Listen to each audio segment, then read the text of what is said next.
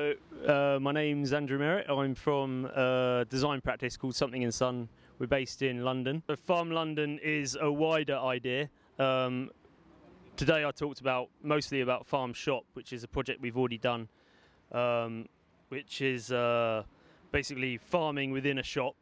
Uh, we we were we won a commission in London, um, and we're given a shop, and um, within the shop we put different food systems. In the shop we've got we've got three floors. Um, we've got a we've got mushroom growing, aquaponics, which is food linked up to um, vegetables, and the uh, the fish give the sorry no fish linked up to vegetables, and uh, the fish provide the nutrients to the vegetables, and the vegetables clean the water so for the fish. Yes, this is an Okay. aquaponics system. Um, so you got the fish down at the bottom here in the tank that are hiding around the corner.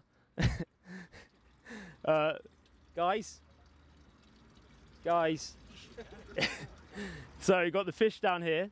Um, they they poo, and through the poo, they provide the nutrients to the plants. So the water is getting sucked up, sucked up through the um, through a pump up into the system here. Uh, this is slightly different to our system because we we don't use well we use clay balls within these columns, but the main basis of our system is these these vegetables here would be in net pots on a floating raft, and they float on top of water, um, and the roots are within the water, and then you keep the water moving, and you have air air pumps within it, and it it means the water's not stagnant, and uh, and then the sorry the the poo from the fish is getting pumped up here through into this system and giving the um, plants the nutrients they need. I don't know. Have you got? There should be a filter system on here as well, maybe. But maybe. Welcome. This is this is a. Okay. Um, we have uh, a normal uh, filter system to mm, push this water into this tank, yeah? Yeah. And uh, of course, we have uh, only for this day um, to clean up the water because it's installed today.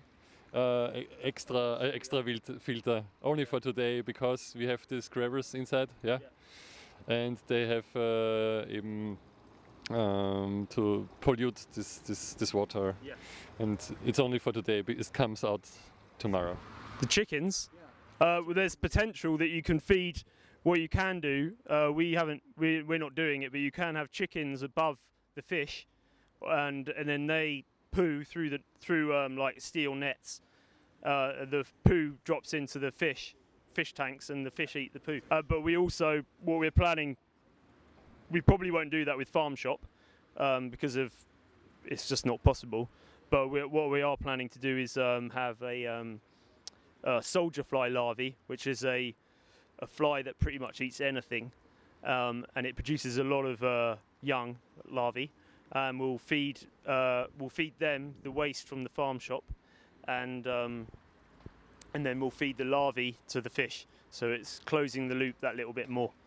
Um, uh, in our system, rather than this system's using uh, natural sunlight, but in us in ours because it's inside and uh, in London you got limited space.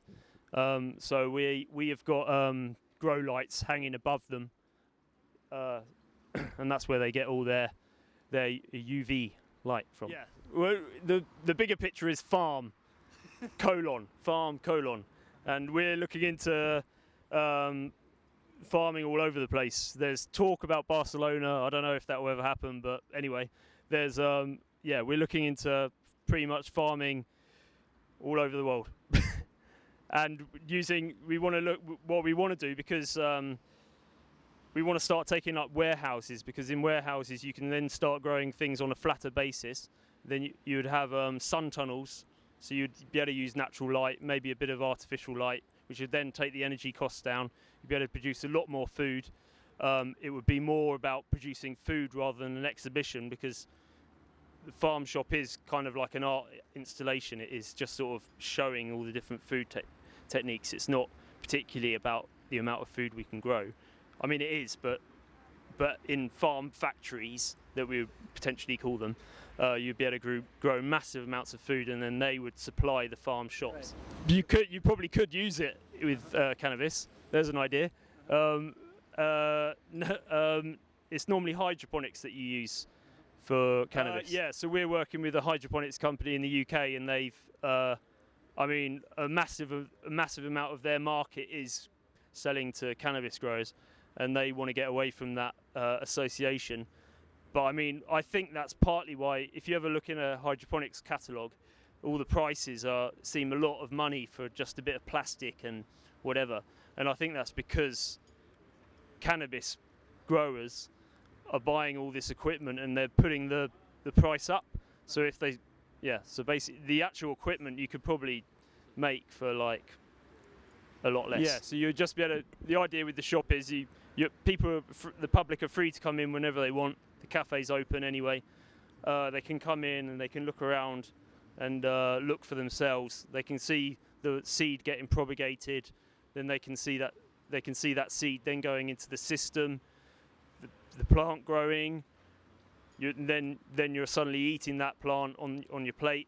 It's the same with the fish. You can see that you know, seeing that fish grow, and then it's on your plate. You, you know, you're actually eating something that was alive the day before, and it's like it's that connection again with nature. So we've, we have we have been shameless in our exploitation, and uh, we we're not scared to uh, sort of uh, talk ourselves up and uh, embrace whoever has has uh, money, and just because we, we just want to introduce as many people to this as possible, and it, I mean that's that's the way you got to be. The peop- if you're if you're stuck in the mud, then you, things never happen, and so it is about uh, trying to embrace everything and everyone.